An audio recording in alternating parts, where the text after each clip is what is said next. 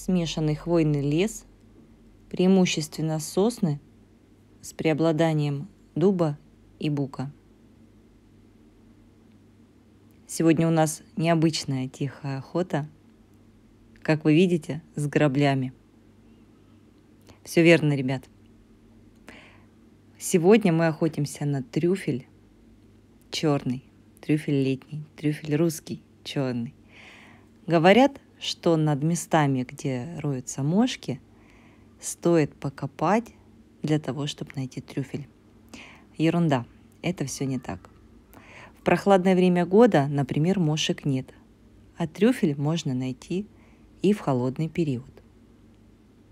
Все чаще его находят даже зимой в нашем южном регионе.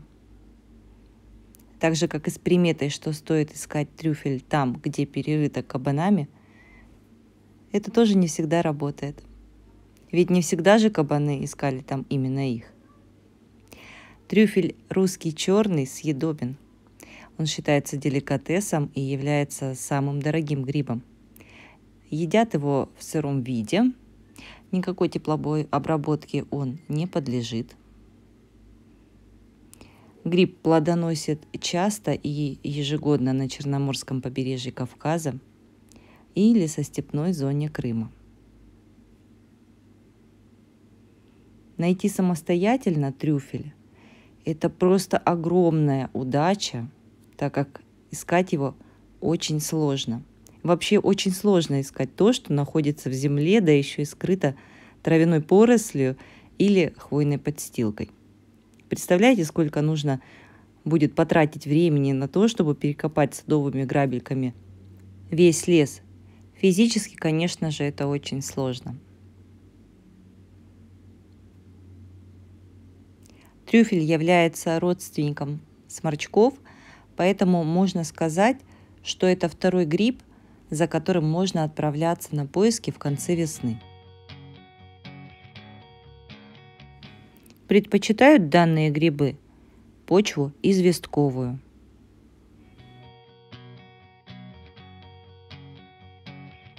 Как вы можете наблюдать, это может быть очень толстый слой опада, это могут быть даже заросли травы.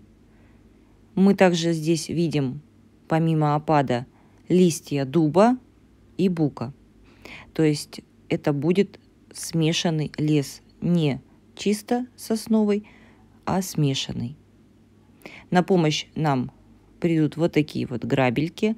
Обязательно возвращайте на место то, что вы взворошили, все, что вы вскопали, для того, чтобы, конечно же, лесовичок вас отблагодарил в следующий раз.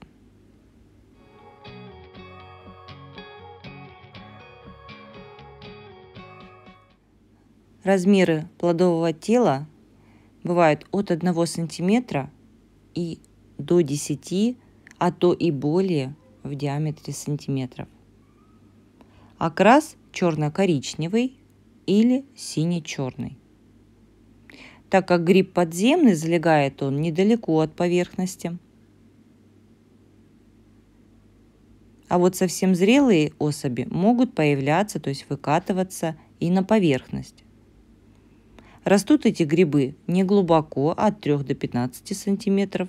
Поговаривают, что могут залегать и до 30 сантиметров вниз, но Выкапывать ямы даже до 15 сантиметров, на мой взгляд, уже считается варварством. Да еще и брать с собой лопату, но это как-то, конечно, совсем не по-людски.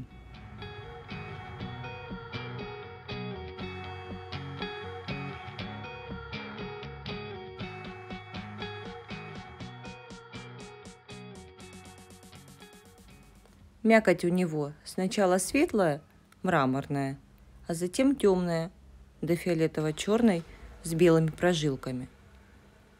Вкус у трюфеля грибной, чем-то похож на сладкий лесной орех и запах такой же выраженный ореховый. Ну, я на, на запах в данный момент я не слышу. Просто как бы сырой землей, лесом пахнет и все. Но может быть, когда помоется, будет орехом пахнуть. А так классно. Находочка. Перед приготовлением плодовое тело нужно тщательно очистить от земли при помощи щетки.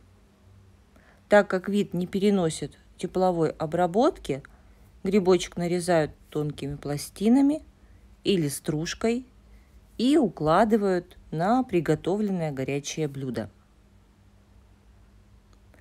Прогревшись, мякоть начинает отдавать ореховым ароматом, придавая пище пикантную нотку –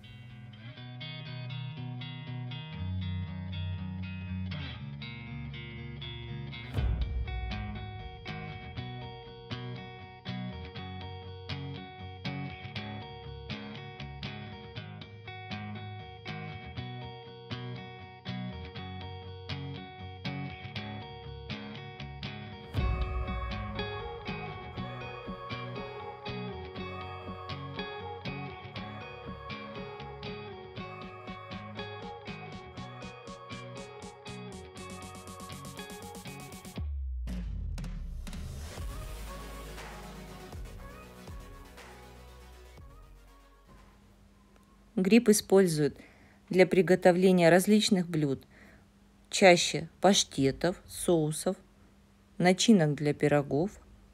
Также трюфели прекрасно дополняют такие блюда, как мясные, рыбные, блюда из морепродуктов. Чтобы сохранить свежесть и аромат на долгое время, грибной урожай можно и даже нужно замораживать. Некоторые консервируют данные грибы в коньяке. Трюфель обладает рядом полезных свойств. К примеру, помогает при подагре, во время депрессий и также при глазных заболеваниях.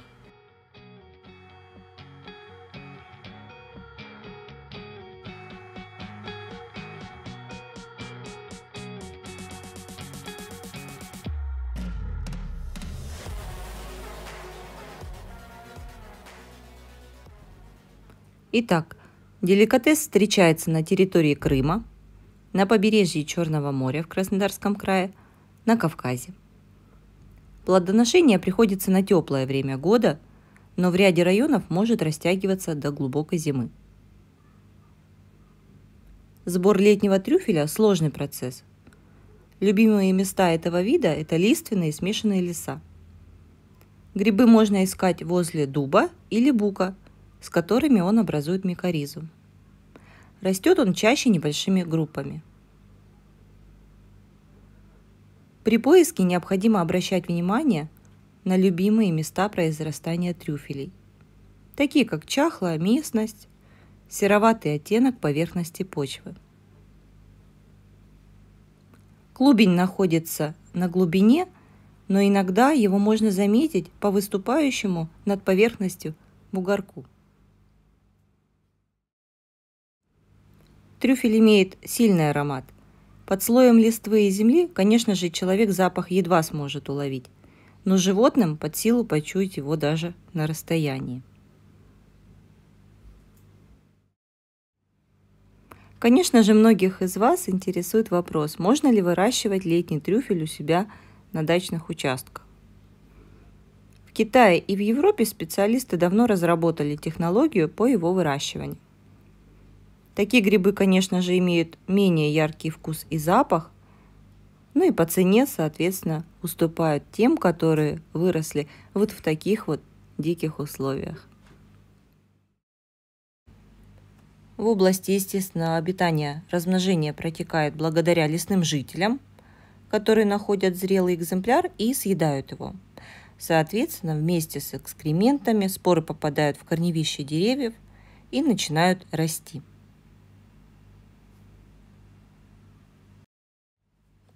Русский черный трюфель – это лакомство, которое будет желанным гостем на любом столе.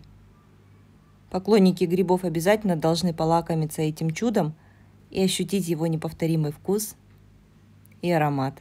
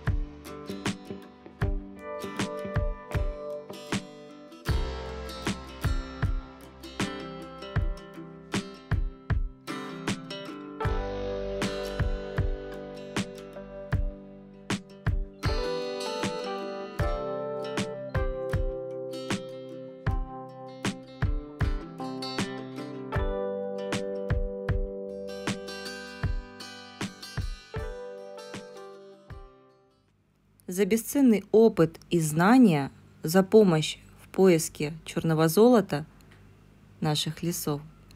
Хочется выразить огромную благодарность нашим местным лесным феям, грибникам с большим стажем, во главе с Еленой Меньшиковой, Елене Толяновой, всем известной под псевдонимом Леса 515, и Оксане Чистяковой. Масса впечатлений, приятная компания, а самое главное – это эмоции, которые очень сложно передать через экран. Эти эмоции останутся теперь с нами навсегда.